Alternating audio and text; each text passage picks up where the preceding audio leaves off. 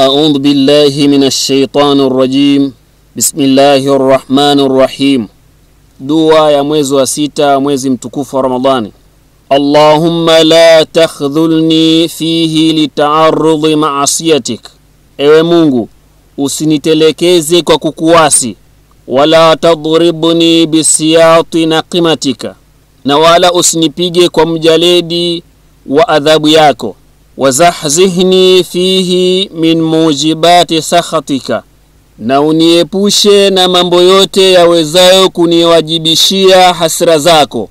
Bimannika wa ayadika ya muntaha raghabati raghibin.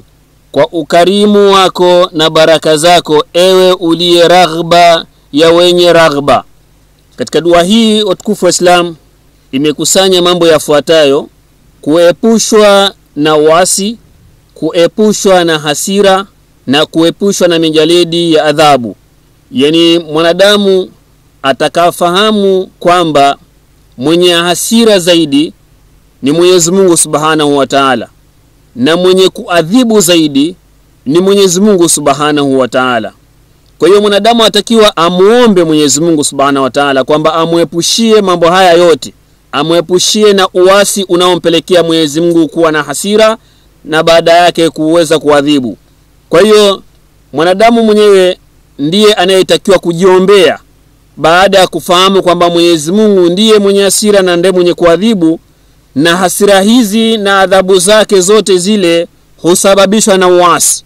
Kwa hiyo jambo kubwa sana zaidi mwanadamu atakiwa ajiepushe kwa mwenyezi mungu Subhanahu wa taala na mwenyezi mungu ampatie uwezo wa kujiepusha ni kujiepusha na uasi.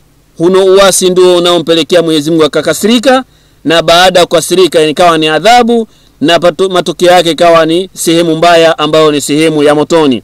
Vile vile yatakiwa mwenyezi mungu subhanahu wa taala mwanadamu atakapokuwa anamuomba ajiepushe na mambo kama haya ambayo tumeyataja aweze kumsifu kwa kuamini kwamba yeye ndiye mwenye sifa bora na atakapomuomba mwenyezi mungu subhanahu wa taala kisha aweze kuingiza neno la kumsifu pale mwenyezi mungu atafurahia zaidi na kuona kwamba mwanadamu anafahamu kwamba mimi ndio mwenye sifa zote na atakapofahamu kwamba mimi ndio mwenye sifa zote basi kwa sababu ya kwamba yeye ameniomba na akaniomba akani, akanijua kwamba mimi ndio mwenye hasira na mimi ndio mwenye kuadhibu. Kisha akaomba kwamba mwenyezi mungu subhanahu wa taala naamini kwamba wewe ndiye mwenye sifa nzuri sana zaidi basi akaweza kumwomba na kumsifu. Mwenyezi mungu ni mwingi wa, wa kusamehe na mwenyezi mungu ni mwenye kukubali. Baada ya kuona kwamba amesifiwa na mja wake mwenyezi mungu subhanahu wa taala anaweza kumkubalia dua yake kwa sababu ya kupitia jambo la sifa.